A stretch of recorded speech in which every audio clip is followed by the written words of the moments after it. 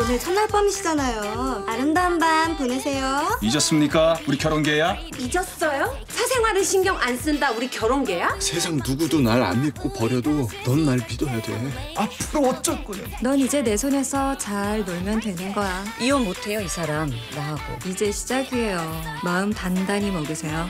바람을 바라보는